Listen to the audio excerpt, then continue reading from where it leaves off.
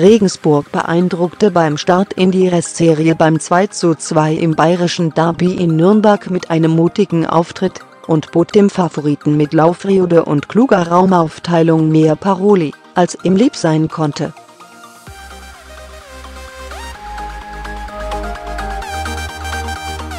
Trainer Achim Bayer-Lorzer war voll des Lobes für sein Team, sowie seinen doppelten Torvorbereiter, und utete sich auf der Pressekonferenz als Clubfan.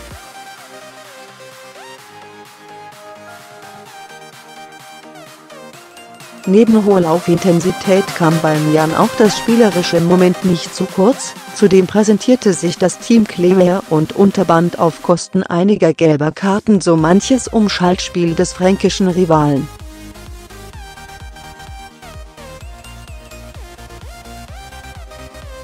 Ich bin mit dem Auftreten meiner Mannschaft zufrieden, ich bin mit dem Punktgewinn zufrieden, lautete Bayer Lorzers Kurzfazit nach der Partie.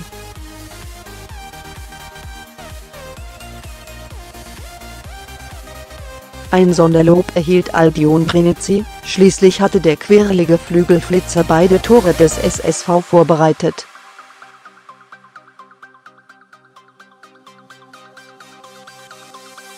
Er hat ein hervorragendes Spiel absolviert, so Bayer Lorzer, der damit das eine Derby angesichts des bevorstehenden gegen Ingolstadt auch gleich wieder abhackte.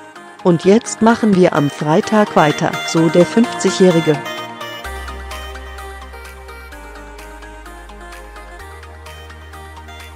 Dann zeitgleich mit dem FCN, der um 18.30 Uhr bei Union Berlin antritt. Dabei fiebert Bayer Lorzer quasi aus der Ferne mit, denn bei der Pressekonferenz ließ der Jan Kutsch, der 20 Kilometer vom Nürnberger Stadion entfernt wohnt, wissen.